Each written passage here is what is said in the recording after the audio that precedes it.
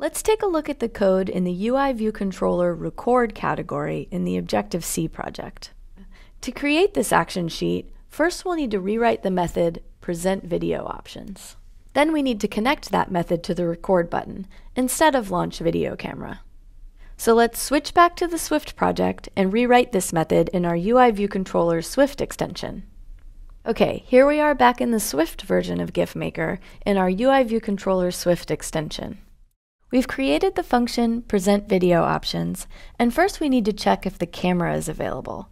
If the camera is not available, we want to launch the photo library, which we'll just put in comments for now. If the camera is available, we create an action sheet of type UI Alert Controller. Next, we need to create three actions to add to the action sheet. Here's the first one, record video. It'll have the default style, and the completion handler will call the method launch video camera.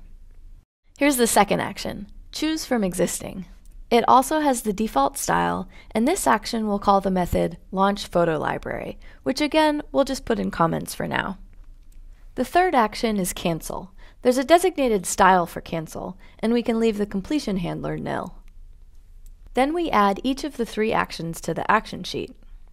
Finally, we present the action sheet and set the tint color of the titles to pink. In the end, the action sheet will look something like this.